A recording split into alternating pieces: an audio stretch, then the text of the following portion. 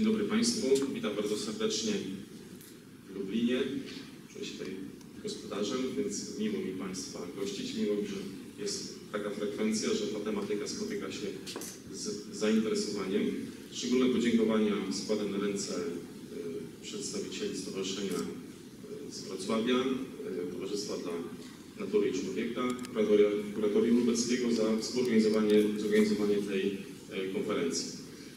y, konferencji. Y, Myślę, że Lublin jest dobrym miejscem na to, to, to spotkanie, to y, zapoznanie się z tym, szczególnie te dwa ostatnie słowa, dobrymi praktykami, jeżeli chodzi o edukację rowerową i y, mamy sukces roweru miejskiego i chyba to jest niezaprzeczalne, jeżeli patrzymy na w skali całego kraju.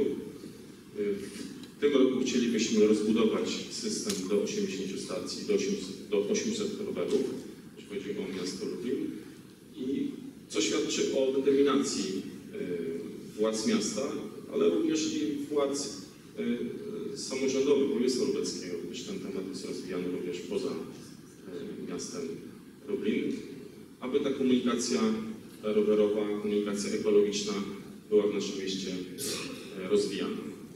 To może być rozwijane tylko w przypadku braku, można tak powiedzieć, kolizji z innymi użytkownikami ruchu, a to możemy zrobić tylko poprzez dobrą edukację zarówno dzieci, młodzieży, ale również nas, kierowców, osób dorosłych, bo chyba czasami to zrozumienie nie zawsze jest, jest jednak jakaś konkurencja między tymi uczestnikami, więc warto poświęcić temu procesowi y, więcej czasu. Szczególnie y, miło, jeżeli tyle osób jest tym temat, tą tematyką zainteresowaną, że szkoły, osoby związane z edukacją tak mocno włączają się w ten proces. Myślę, że to jest, to będzie, będziemy wspierać te procesy edukacyjne, będą organizowane kolejne e, konferencje, które tą tematykę będą, e, będą przybliżać.